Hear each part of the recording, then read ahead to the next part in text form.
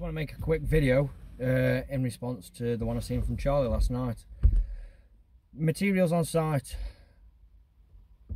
I haven't been on a site in years where they cover anything up, apart from one which was in Chal Equans.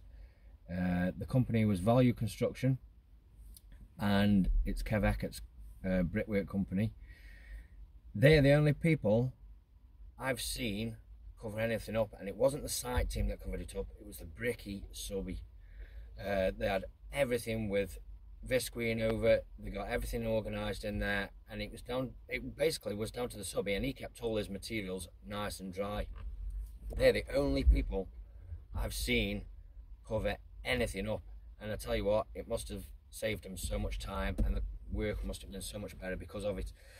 Now, I'm only two, me and me and my labourer. So we don't struggle that much with wet materials because what I do is whenever it's dry, I'm making sure that we've got the next day in front of us loaded out.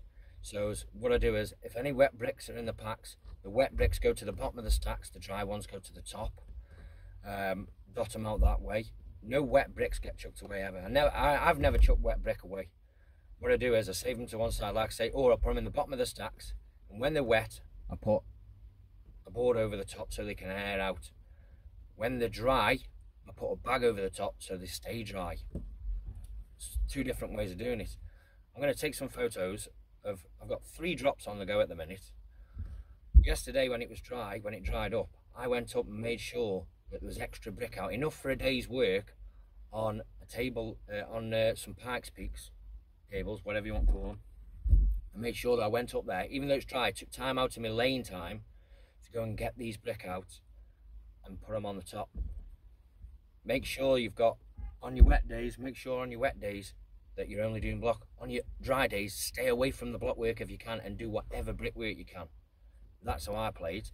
And while it is dry, make sure all your blocks are loaded out and stacked and drying if you can. If you've got enough drops to get on. I'm not trying to tell anyone to suck eggs. Everyone knows what they're doing. But this is what I do to try and get around this materials being wet saga. Also, if you know it's going to rain that night and you've got cover on your blocks, don't unwrap them. Just make sure they're not unwrapped. Or if they're wet, unwrap them and cover them. Let everything air. That's the main thing. When your bricks come up and, and you know it's going to be wet the day after, air your bricks, take the take the take the plastic off. When I first got to this job I'm on, the bricks had been stored for that long.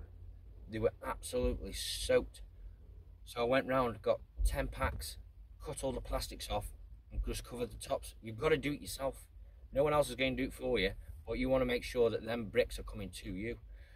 If you can't make sure the bricks are coming to you, then it's pointless doing it because you're not going to do it for everybody else. Um, but it is something to think about. Now, whether it's good planning or luck or space, the site I'm on, they haven't got a lot of space. Not there hasn't been a lot of lay down areas, so they've been ordering the bricks in on turnaround only just enough, like for every week of work and blocks. So there isn't a massive stockpile. So when the sites have got a lot of lay down area, the problem tends to be that they get a lot of stock in and it sits there for a long time. And when new stock comes in, it's at the front. The folks take all the stuff from the front, and the stuff at the back keeps getting left and left and left. So you'll be down to like maybe there's 10, 20 packs that never get touched, and they keep never getting touched.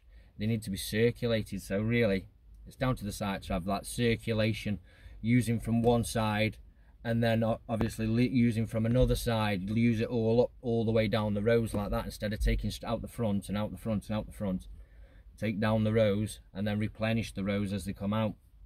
It's just these are ideas that you know a lot of site managers aren't bricklayers. They're not even tradesmen a lot of them now. And I don't think they quite understand the difficulties that you go through every single day for the materials. But you can mitigate the risk of the wet materials yourself. You can do things to help it you don't have to go in every day dreading it, thinking, oh God. I mean, this morning, is it's been absolutely tearing it down, rain all morning. Um, it's dry now, but I'm going to show you pictures of literally I haven't touched anything so I've seen your video yesterday Charlie and I'm going to go up there and show you exactly what my drops look like now without touching them and then you can see how we mitigate the materials being wet but it is a joke It should be dry especially these people going for the pride and the job awards the dry storage areas are a must there is a site that will be changing to potentially um, for the same company and everything, but for a different house builder. Well, same house builder, but a different manager. Um, they're going for the Pride in the Job Award, and we'll see if they end up doing a dry storage area. I think it has been mentioned. It has been mentioned. These things always get mentioned, but putting it into practice um, is another thing. But like I said, we've been lucky on this job because we keep getting fresh deliveries in, and when the bricks come, I know I got a pack of brick dropped on one of my drops last night that is going to be wet this morning. But like I say, I'll be up there this morning, loading it out, put that wet bricks to the bottom, putting my boards on, ready for tomorrow and letting it dry out all day. Let's go and have a look.